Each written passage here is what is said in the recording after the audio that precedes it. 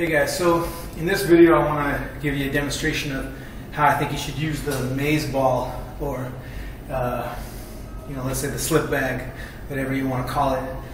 And I think the first major thing that you need to understand is that this is not really to teach you slipping, it's more to teach you rhythm and how to work your punches and your slips together. The reason why is if you don't have proper slipping technique, this thing isn't going to teach you. For example, I could throw it and then I could just do some weird shit like this or you know like that and it's not going to hit me.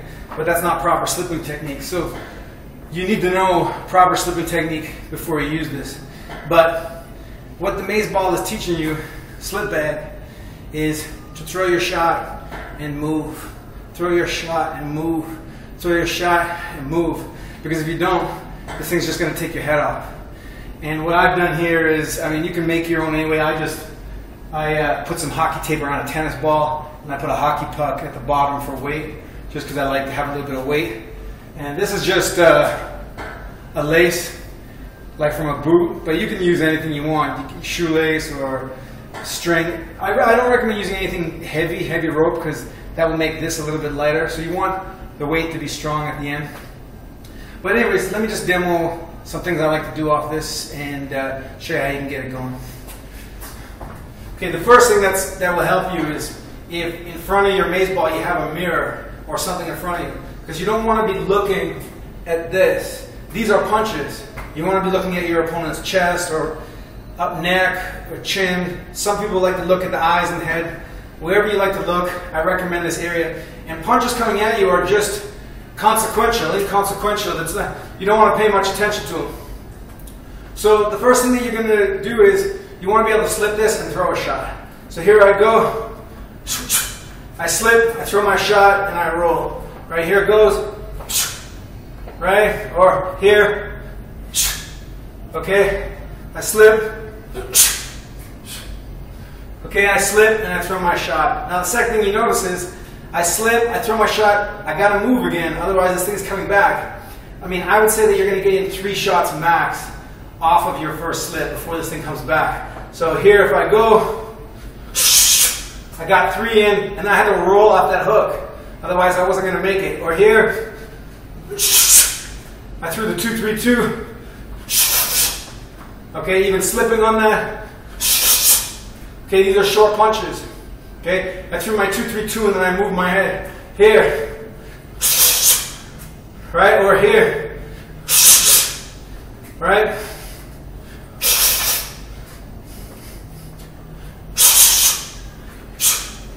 Your punches all, won't always be the best quality because you're really trying to work on getting them out there and moving your head after. So you you got to work on your speed and your timing to get your rhythm going. So that's the first thing you're going to do. Is you're going to move your head, throw a shot, move your head. Move your head, throw two shots, move your head. Move your head, throw three shots, move your head. So here. One. And then I move. Or I can slip back outside. Slip back. Slip. Slip back. Slip. Slip back. Okay? Or to the right. Slip. Slip back or roll with it. Okay, then I'm going to get in two shots. Okay, two shots. Two shots. Okay, and then I'm going to move my head. Or I can get in three shots.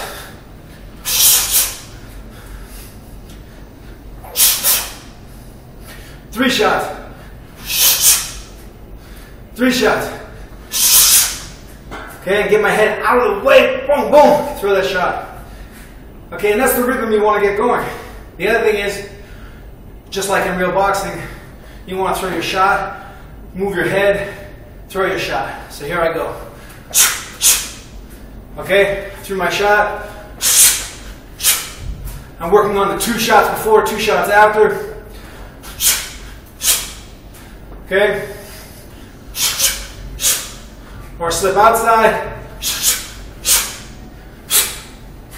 Okay, so that's what you got going on. Three before, I'm gonna duck because it's coming at me, I'm barely gonna get it. Okay, see how that's working?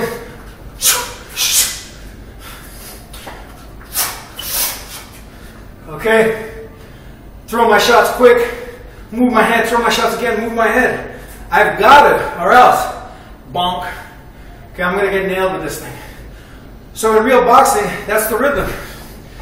Bam, move my head, boom, boom, move my head, bum, bum. He throws, move my head, boom, boom, he throws. Boom, he throws, bum, bum, boom. He throws, I come back. Okay? Make him miss, make him pay. That's what this is teaching you. But it's also teaching you to move off your shot. Another thing that you can do off this is work your slips and your ducks together. So here, I slip the first shot, I turn, I duck. You duck as I turn. Boom. Okay, here. Or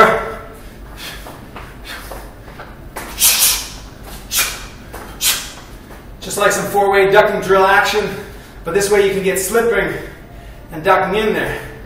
I slip, slip, slip. Okay? I'm moving around. This thing isn't always perfect, doesn't always behave itself. Sometimes eventually it's going to veer off, but just work with it. Have a little bit of fun. Ah, look, you caught me there. You know? Peripheral vision.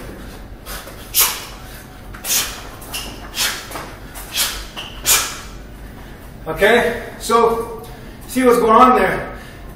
Punching, moving my head, punching, ducking, punching, turning, ducking.